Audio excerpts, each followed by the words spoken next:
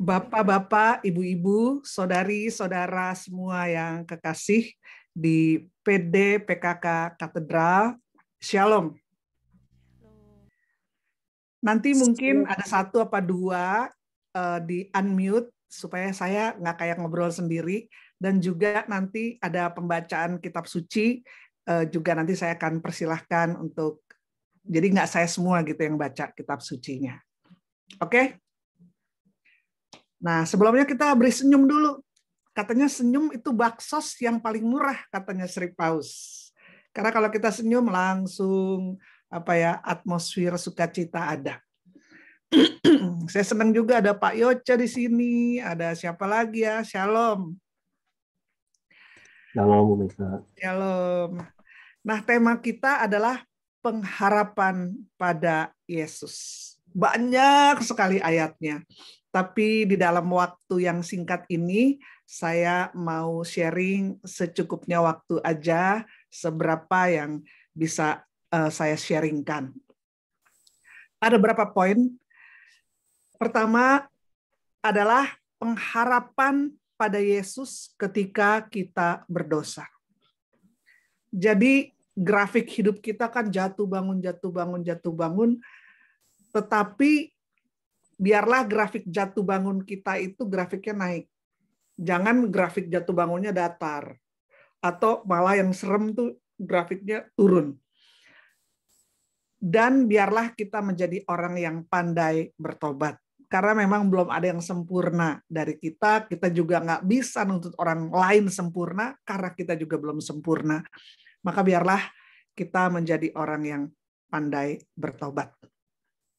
Tapi kadang-kadang kita udah ikut Tuhan, udah ikut Tuhan. Tapi kenapa kok bisa jatuh dalam dosa yang sangat dalam? Contohnya Petrus saja. Apa kurang luar biasanya mengikuti Yesus? Tapi kok bisa sampai murtad tiga kali menyangkal, mengutuk, dan swear bersumpah nggak kenal Yesus. Padahal Petrus itu adalah paus pertama.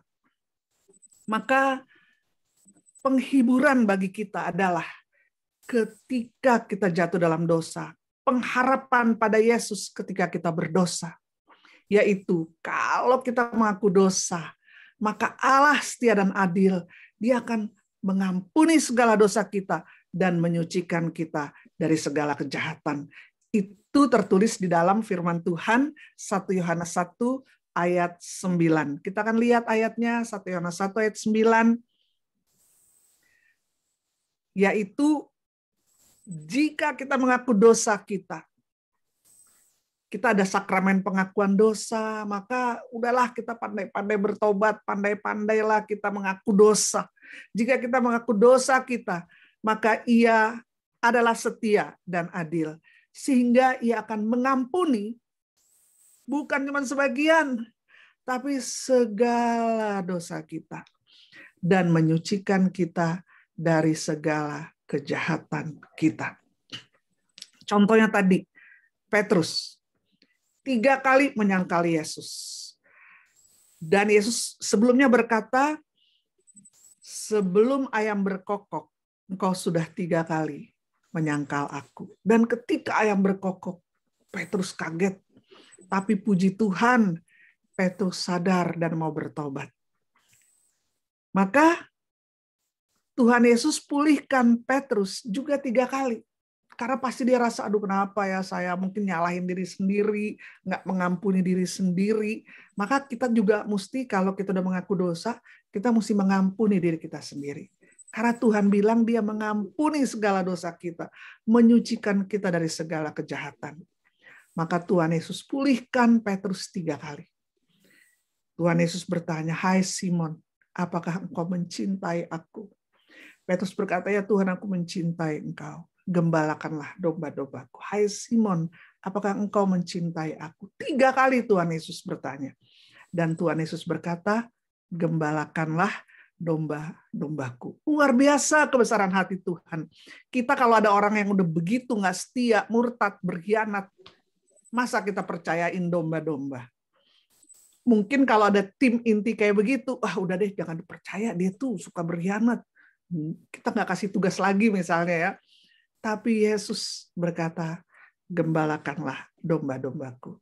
Dia pulihkan Petrus tiga kali juga dan tetap panggilannya menjadi pemimpin umat perdana itu tetap Tuhan nggak coret ah kamu nggak setia saya ganti yang lain deh enggak itu luar biasanya Tuhan bahkan siapa yang pertama melihat kebangkitan Yesus apakah para rasul ternyata yang pertama melihat kebangkitan Yesus adalah seorang wanita yang dikeluarkan tujuh setan darinya, yaitu Maria Magdalena.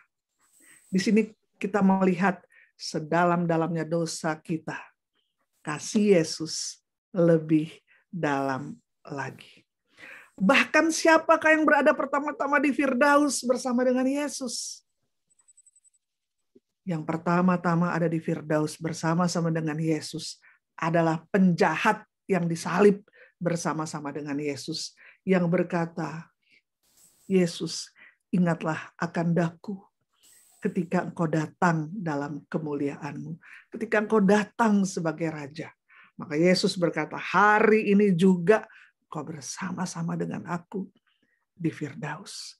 Luar biasa kasih Tuhan. Maka kalau kita jatuh dalam dosa, kita punya pengharapan pada Yesus yang setia, yang akan mengampuni segala dosa dan pelanggaran kita ketika kita bertobat. Yang kedua, pengharapan pada Yesus ketika khawatir akan hari esok. Khawatir tuh ya kayaknya kayak tikus-tikus kecil yang menggerogoti hati, menggerogoti damai sejahtera, menggerogoti pikiran kita. Aduh khawatir, apalagi kayak zaman sekarang pandemi. Aduh gimana ya kalau pandeminya nggak habis-habis tahun, barangkali akibatnya bisa dua tahun. Gimana usaha saya, gimana untuk uang listrik, makan minum, bagaimana? Maka ketika kita khawatir, kita punya harapan selalu pada Yesus. Kita akan lihat ayat selanjutnya adalah Matius 6 ayat 34. Ada yang bisa tolong baca? Matius 6 ayat 34. Matius 6 ayat 34. Sebab itu janganlah kamu khawatir akan hari esok. Karena hari besok mempunyai kesusahannya sendiri. Kesusahan sehari cukuplah untuk sehari. Ya, jadi Jangan khawatir akan hari besok. Karena hari besok mempunyai kesusahannya sendiri. Poinnya adalah kesusahan sehari cukuplah untuk sehari. Karena hari besok ada rahmat, ada rejeki baru. Jadi jangan kita, wah kita jadi susah hari ini, ntar kita mikir seminggu lagi, sebulan lagi. Aduh, kita diberi kekuatan tuh harian. Nanti kalau kita khawatir setahun untuk setahun depan, khawatir akan dua tahun depan, lima tahun depan, anak cucu kita gimana, kita nggak kuat. Karena kekuatan kita tuh harian. Makanya dalam doa Bapak kami dikatakan, berilah kami rejeki pada sebulan Tuhan. Setahun. Tapi pada hari ini. Jadi kita live one day at a time. Kan ada lagu One Day at a Time. Pokoknya hiduplah hari demi hari aja. Dan kita beriman, percaya, berharap pada Yesus. Besok tuh ada rahmat dan berkat baru. Ada rejeki baru bagi kita. Saya pernah nonton ya film China Cry. Dulu ini masuk di bioskop-bioskop itu true story. Kalau bisa nanti carilah di mana ya, Netflix kah atau mana kah. Namanya China Cry. Ini true story ketika Cina itu masih komunisnya masih kuat. Jadi orang-orang Kristen Katolik waktu itu kalau ketahuan beribadah itu bisa ditembak, bisa dipenjara, dihukum, disiksa. Nah, jadi mereka katanya ya, itu kasihan gitu. Kalau diem-diem ngumpul di mana gitu ya, pokoknya mereka misalnya ngumpul di satu tempat, entah di itu di pinggir hutan atau di mana, Nanti kalau mereka memuji Tuhan, itu nggak boleh bersuara. Jadi misalnya pemimpinnya akan bilang, marilah kita sama-sama menyanyikan Tuhan adalah gembalaku. Siap semua? Siap. Ya, satu, dua, tiga. Jadi nyanyi dalam hati. Jadi misalnya, Tuhan adalah gembalaku, takkan kekurangan aku. Itu nggak boleh keluar suaranya. Jadi semua nyanyi di dalam hati. Nah, ini yang cerita di China Cry ini seorang wanita, dia baru menikah, punya bayi. Dan itu bayi nganter, mesti ngantre susu sama pemerintah. Jadi dia bilang, dia tanya sama pemimpinnya, gimana ya, saya takut nggak kuat. Karena saya punya bayi, tiba-tiba kalau saya disiksa, diserang bayi saya, saya ketahuan mengikuti Yesus, bayi saya nggak dapat susu, saya tuh gimana katanya. Maka pemimpin ini bilang, di dalam mengikuti Yesus ya kita nggak usah muluk-muluk mikir sebulan, setahun depan, nggak hari demi hari saja. Misal hari ini kita bangun, Tuhan saya mau kepadamu, hari ini saya mau menyerahkan seluruh hidupku, aku percaya padamu Tuhan. Hari ini pokoknya aku mau mengikuti engkau. Dia takut nggak setia nanti kepada Tuhan karena banyak yang serangan, tantangan. Tapi akhirnya pemimpinnya bilang, udah mengikuti Yesus tuh harian aja. Hari ini aku ikuti Yesus. Maka hari menjadi minggu, minggu menjadi bulan, bulan menjadi tahun. Demikian juga dengan khawatir kita. ya Kita serahkan pada Yesus.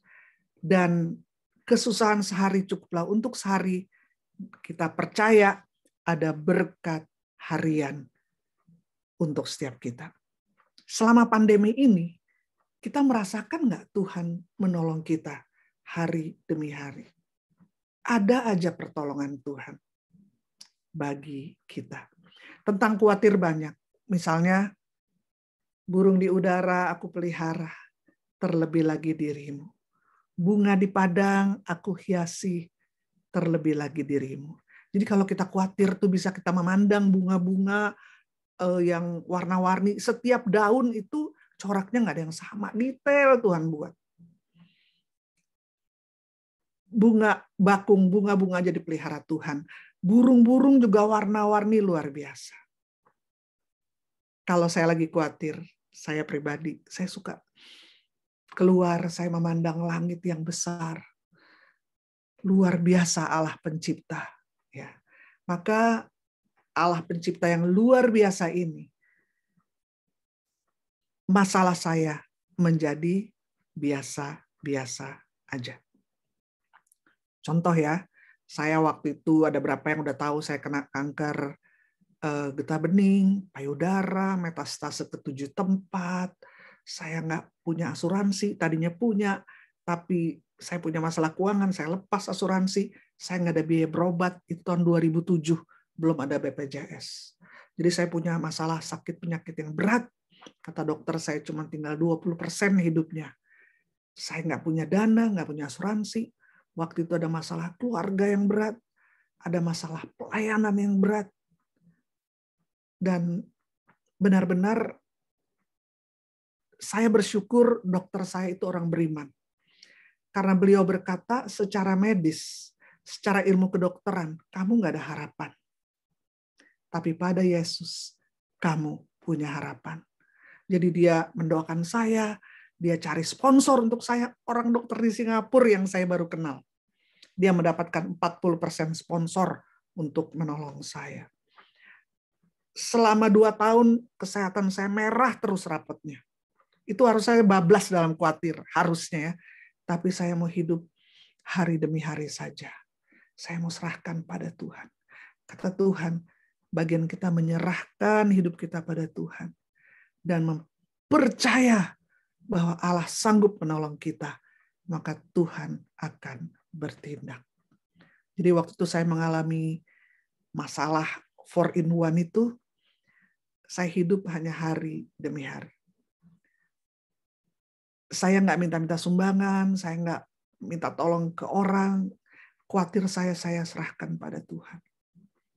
Dan ajaib hari demi hari, Tuhan menolong saya, bahkan luar biasa. Pengobatan itu kurang lebih, jadi saya di kemo 8 kali, 25 kali radiasi, ada di empat macam operasi, ada di Sumeta, semua komplit. Waktu saya tanya Tuhan, adangin mujizat dong untuk saya, gitu ya. Kan katanya, saya pernah didoain tuh waktu itu. Didoain sama orang-orang. Habis berdoa, mereka bilang gini sama saya, ibu nggak beriman. Tuh, karena apa bu? Karena orang tuh kalau beriman, didoakan, kankernya tuh sembuh. Nggak usah dioperasi, nggak usah di kemo. Malah saya dimarah-marahin. Ibu nggak beriman. Aduh, bukannya saya terhibur. Mereka pulang, saya jadi stres. Saya sampai Tuhan, kalau saya kurang beriman, di mana Tuhan tolong, Tuhan tolong. Bahkan ada yang bilang, wah kamu stresnya banyak, luka batinnya berat ada dosa kali, ada kutuk kali, aduh bener-bener udah kayak jatuh ketimpa tangga. Jadi kalau ada orang sakit, ada orang susah, jangan dihakimi deh. Berat gitu. Kadang-kadang ditemenin aja, diberikan kata-kata penghiburan ya. Saya sampai Tuhan salah apa nih saya nih Tuhan. Kalau saya salah biar kasih tahu saya bertobat gitu. Maka sebelum saya dioperasi, saya bilang sama dokter, dokter, tolong empat macam operasi. Satu kali aja dokter. Karena saya nggak punya dana. Kalau setiap operasi itu masing-masing sekali-sekali sekali, saya bayar rumah sakit tuh empat kali. Obat bius bayar empat kali, semua empat kali. Tolonglah dokter. Dokter bilang, wah ini dua tim dokter, kamu nggak kuat. Tolonglah kuatkan saya dokter. Saya berkata begitu. Akhirnya ditentukanlah satu waktu dan benar saya nggak kuat. Kata dokter, nggak bisa, kamu mesti ditunggu perpanjang dulu, diundur. Puji Tuhan. Itu karena apa? Saya di Singapura waktu itu operasinya, itu eh, apa?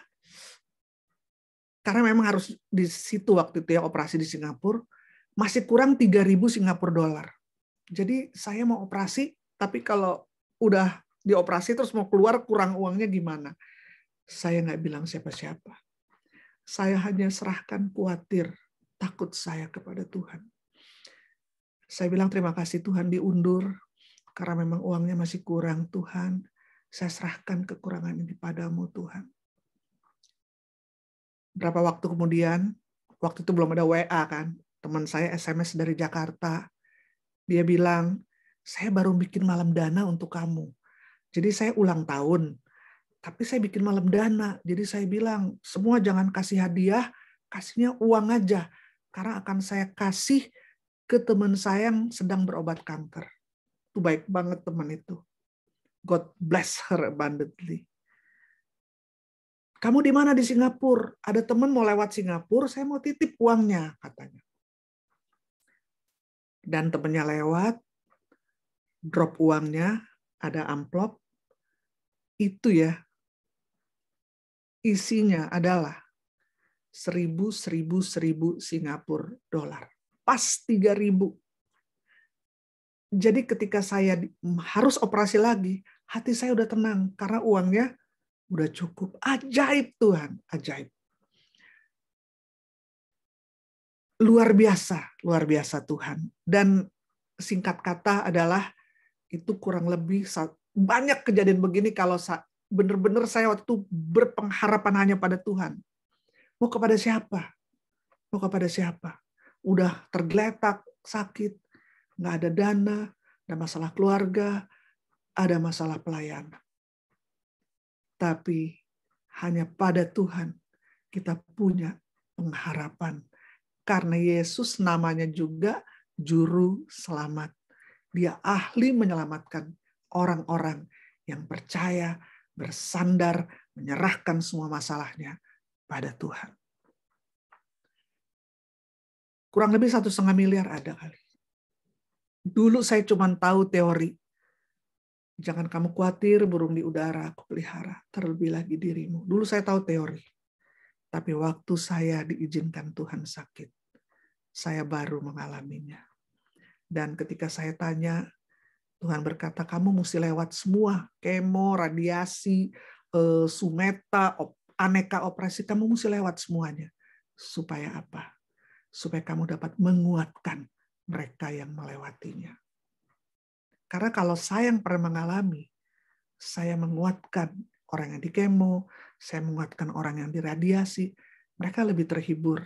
Karena saya sudah mengalami dan tahu penderitaan yang mereka alami. Jadi luar biasa bahwa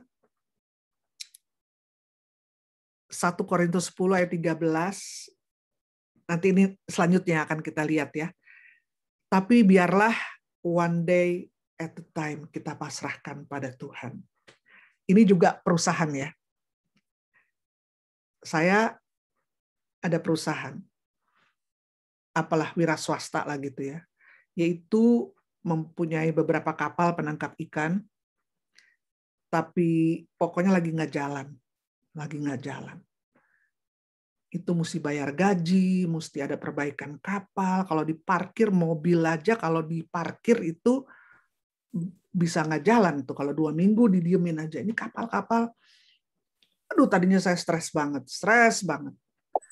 Tapi akhirnya saya serahkan. Perusahaan ini milikmu Tuhan. Saya cuman pengurus daripada milikmu. Tolonglah berikan hikmat, kebijaksanaan, hari demi hari Tuhan, keputusan apa yang harus saya ambil melewati masa-masa yang sulit ini. Ajaib Tuhan, ya Tuhan one day at the time ada selalu jalan keluar yang dari pada Tuhan.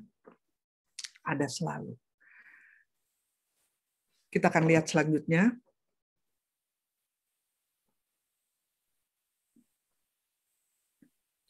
Yaitu pengharapan pada Yesus ketika ada masalah ya.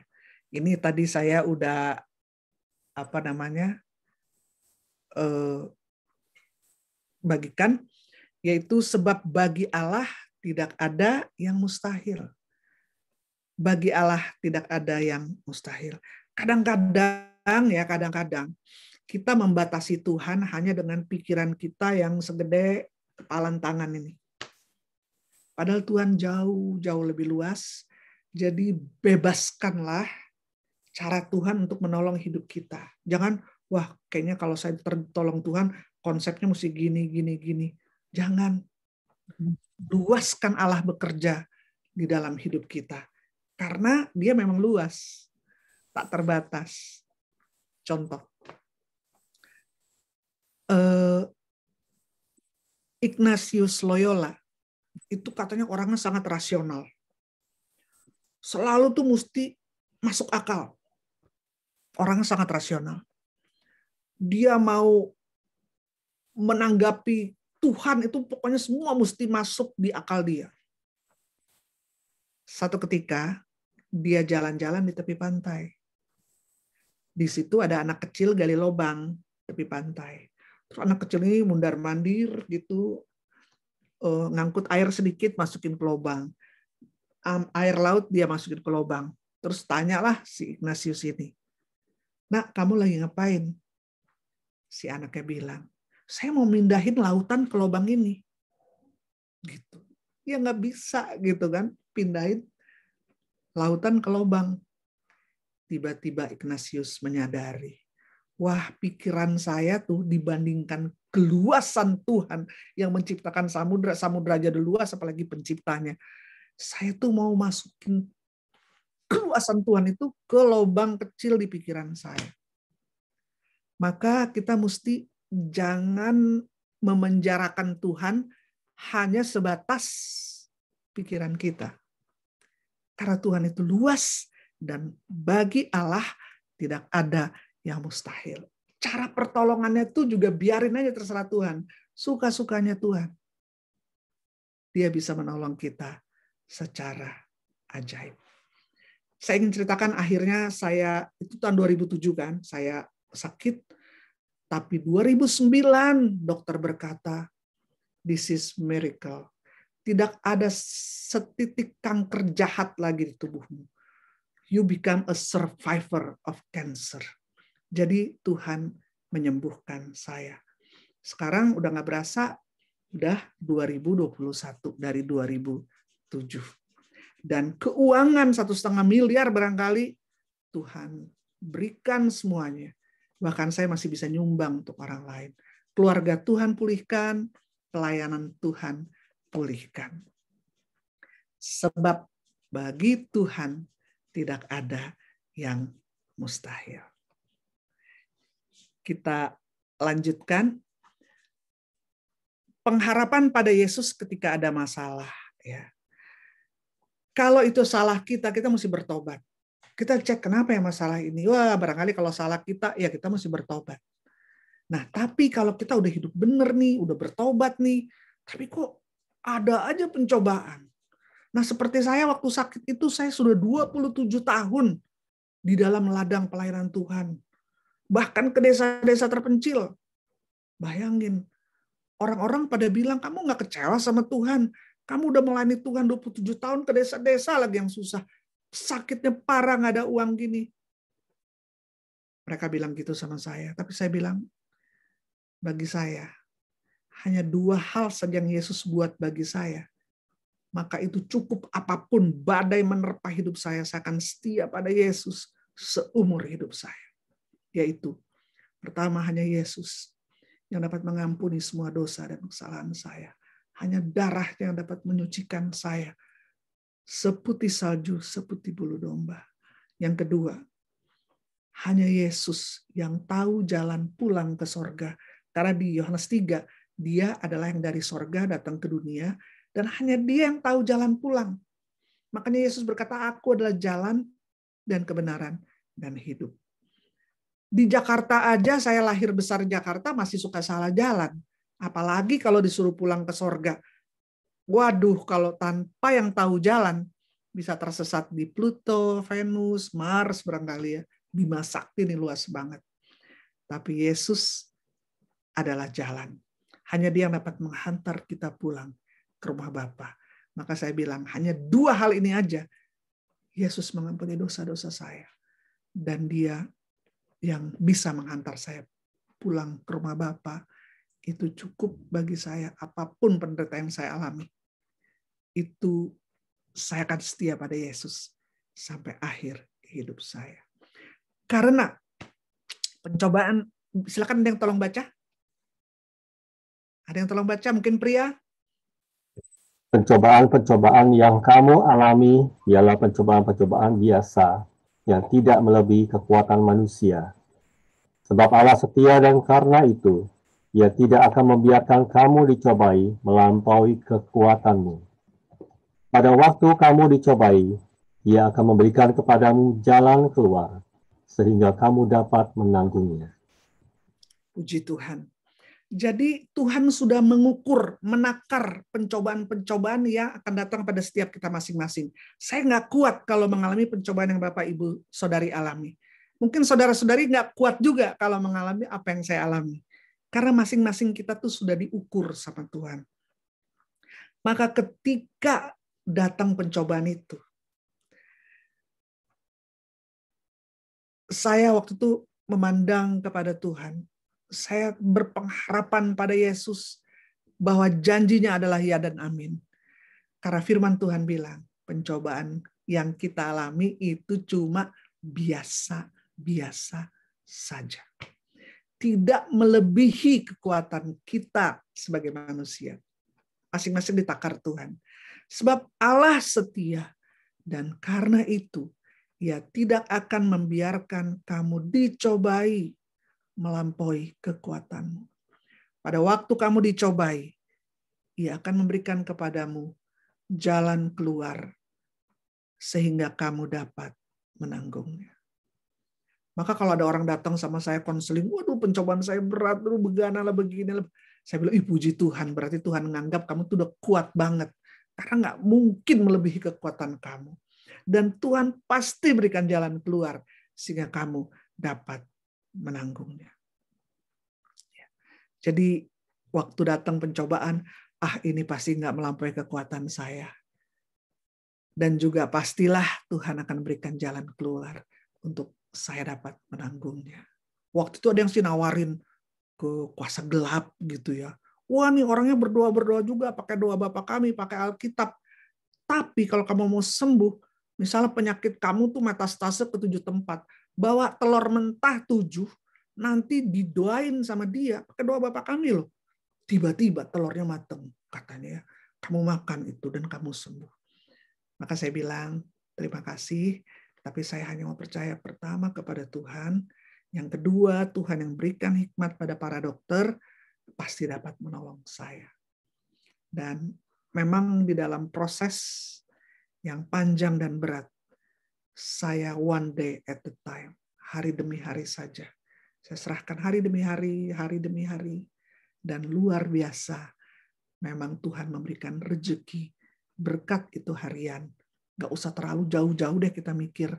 Kita pokoknya one day at the time aja. Kesusahan sehari, cukuplah untuk sehari. Dan Tuhan akan berikan jalan keluar untuk kita dapat menanggungnya.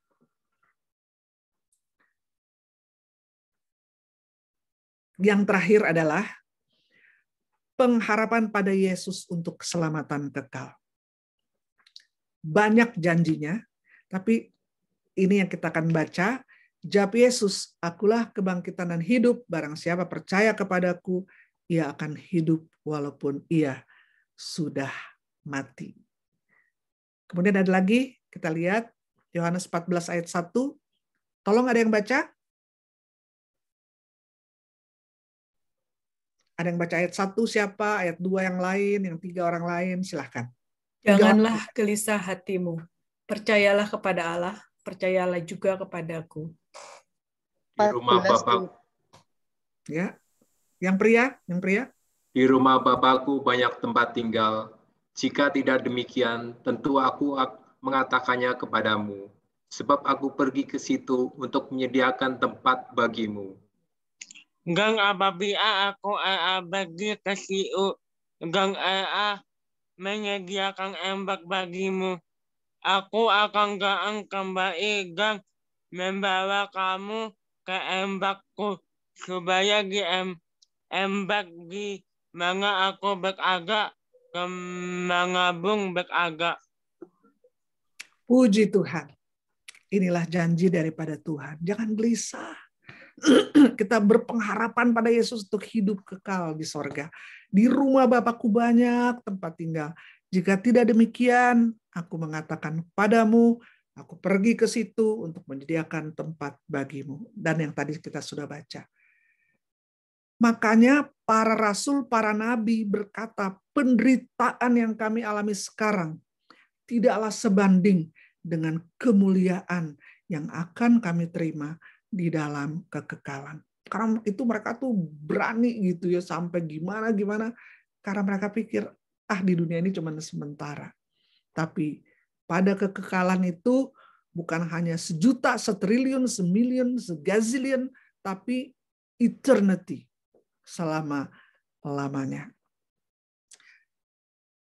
Saya terus terang waktu itu ya, saya sempat meragukan di mana waktu itu saya ragu-ragu adalah kami pelayanan itu di pedalaman Kalimantan Barat. Dan ke sana itu jalan cuma bisa pakai speedboat. Jadi kita ada kayak rekoleksi, kita berangkat pagi dan pulang malam. Jadi satu pabrik di tengah hutan mau bikin rekoleksi, jadi kita pakai speedboat. Malam pulang tuh gerimis. Lewat Sungai Kapuas Gitu. Jadi cuma itulah jalan, nggak ada bisa jalan mobil. Dan di Sungai Kapuas itu dihanyutkanlah balok-balok.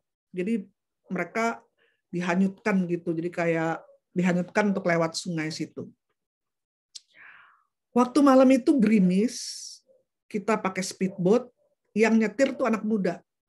Jadi supirnya tuh anak muda, udah gitu dia pakai wiper gini ya, Cuman wipernya tuh udah kering. Jadi kalau set, set, set, set kayaknya nggak keset gitu. Jadi tetap susah ngeliat ke depan. Apalagi gerimis terus lampunya juga nggak terlalu nembus lah ke depan. Tapi si supir ini karena dia pengalaman, wah saya udah pengalaman katanya. Wah dia tancap. Mungkin waktu itu lagi ada film James Bond. Jadi wah, wah, wah aduh kita ngeri startnya. Wah, udah hmm, kayak aduh. Kita bilang tolong dong, jangan cepet-cepet. Wah saya udah biasa nih katanya. Dan benar satu ketika nabrak uh, speedboat kita, baling-baling propeller di belakang itu gitu ya. Pokoknya rusak. Sehingga speedboat kita itu terapung-apung muter kiri kanan kuru di Sungai Kapuas di tengah hujan. Gelap kiri kanan.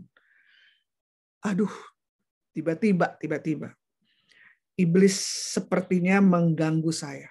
Iblis berkata ngapain ngapain lo tengah-tengah malam begini di tengah-tengah hutan sengsara nggak digaji lagi untuk apa kamu seperti ini? Tiba-tiba kamu udah serahin hidup kamu, udah sengsara-sengsara. Eh, kamu meninggal, ternyata Tuhan yang kamu ikuti salah. Aduh, saya, saya benar-benar waktu itu terganggu. Aduh, benar ya. Saya udah bisa-bisa begini. Nanti kan saya belum pernah mati. Bener nggak dijanji Tuhan? Tiba-tiba, kok tiba-tiba saya salah gitu. Benar-benar saya gelisah dan setiap pagi biasa di kelompok kami pelayanan itu setiap pagi kita baca firman Tuhan dan kita berdoa bersama sebelum ke pelayanan. Maka hati saya gelisah waktu itu. Tapi Tuhan Maha tahu. Tuhan Maha tahu di tengah-tengah kegelisahan saya. Pas bacaan pagi itu menjawab, meneguhkan saya sampai sekarang. Yaitu jawabannya kita akan lihat Efesus 1 ayat 13. Silahkan ada yang baca ayat 13.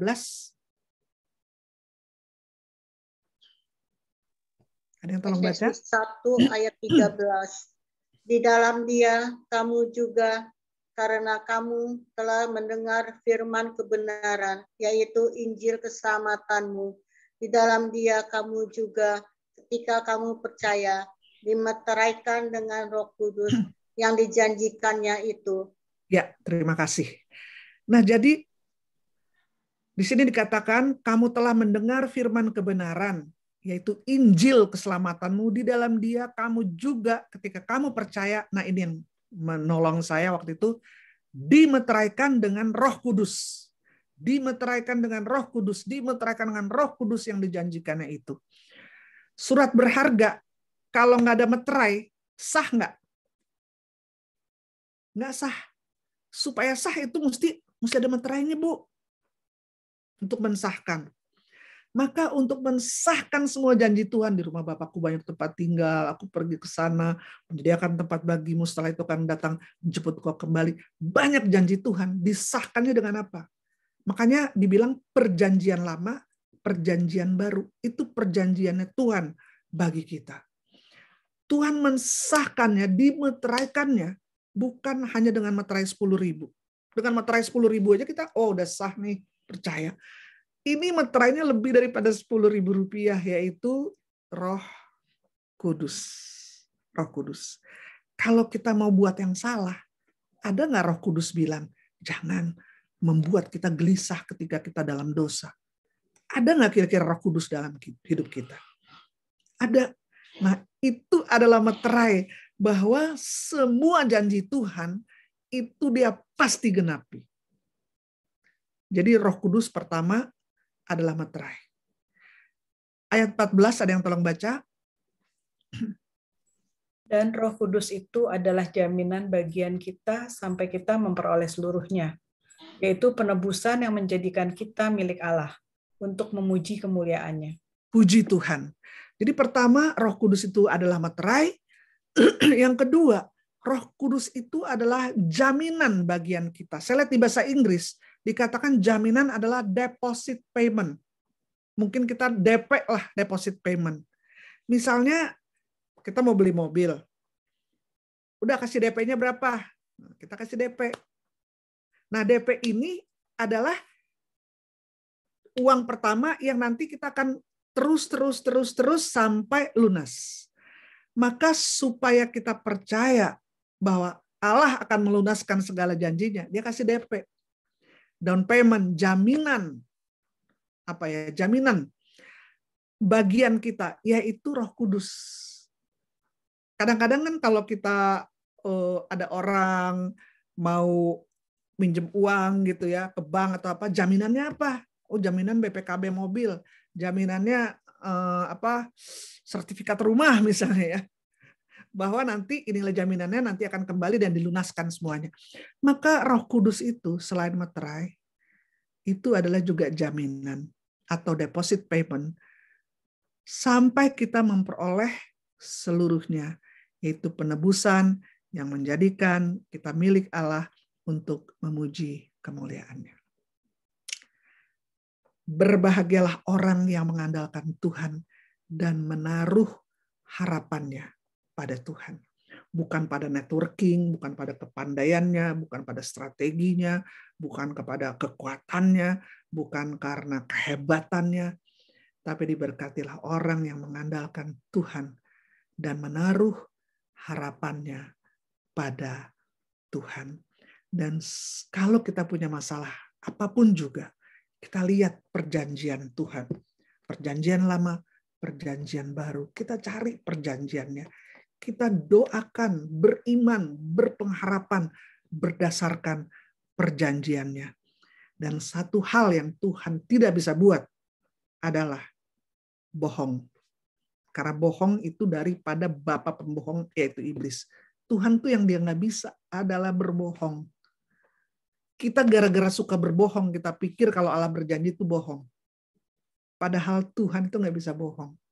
Dan janjinya adalah ya dan amin. Saya mempersembahkan hidup saya melayani Tuhan dari tahun 80. Jadi saya mengikuti Tuhan sudah 41 tahun menjadi pewarta di gereja Katolik yang tidak ada gaji, tidak ada karir, tidak ada perpuluhan. Saya banyak persembahkan diri saya bagi Tuhan dan Tuhan pelihara. Kalau burung di udara saja dia pelihara, apalagi kita. Tidak sia-sia kita berharap pada Tuhan di dunia sampai di akhirat. Bagian kita setia kepada Yesus sampai garis akhir hidup kita. Dan sudah ada meterai roh kudus. Dan itu adalah DP-nya daripada Tuhan. Bahwa kita akan memperoleh seluruhnya penebusan yang menjadikan kita milik Allah untuk memuji kemuliaannya. Amin. Kita akan berdoa. Kami datang padamu Tuhan di masa pandemi yang tidak menentu, yang menakutkan, yang tidak pasti. Kami tetap memandang padamu dan bersyukur bahwa di tengah segala ketidakpastian kami memiliki Engkau Yesus Kristus yang pasti, yang tidak berubah, tetap sama dahulu, sekarang, sampai selama-lamanya. Tolong kami Tuhan, di masa-masa penantian, kami tetap mengangkat wajah kami, dan kami berharap hanya kepada Tuhan. Karena Engkau selalu punya akal, Engkau selalu punya jalan keluar, Engkau selalu punya pertolongan karena gelarmu adalah juru selamat. Kau ahli dalam menyelamatkan apa pun yang sedang kami Biarlah kami bukan bergantung pada pikiran kami saja atau strategi kami saja. Terutama kami bergantung Karena kami mau berbahagia. Kau berkata berbahagialah orang yang menaruh harapannya pada Tuhan. Terima kasih Tuhan. Buatkan hati kami semua bahwa ada rezeki berkat hari setiap hari sediakan bagi kami bagi Terima kasih. Ajarlah kami selalu percaya. Seperti syahadat kami yaitu aku percaya. Allah Bapa Hak Kuasa Cipta langit dan bumi yang pasti peduli pasti menolong menguatkan setiap kami dan keluarga kami teguhkan kami di dalam dirimu karena kami tahu pengharapan kepada Yesus Kristus Tuhan kami yang adalah juru selamat tidak pernah akan sia-sia. Ada yang susah secara ekonomi Tuhan, berikanlah pertolongan. Ada utang yang belum terbayar, tolong Tuhan berikan jalan keluar. Kalau ada yang sakit, nyatakanlah bahwa Engkau Allah penyembuh selama-lamanya. Ada keluarga yang retak kasih menjadi dingin. Selamatkan Tuhan. Pulihkan Tuhan. Karena bagimu Terima kasih Tuhan. Terima kasih Tuhan Kita nyanyikan refnya bagi Tuhan. Tak ada yang mustahil. Refnya saja. Bagi Tuhan tak ada yang Izinkan kami tidak membatasi Engkau hanya dengan pikiran kami. Karena lebih luas dari pikiran kami.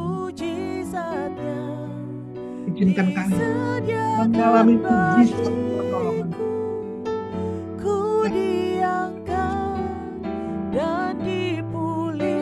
Sekali lagi, bagi bagi Tuhan yang mustahil. Kami serahkan semua kuasa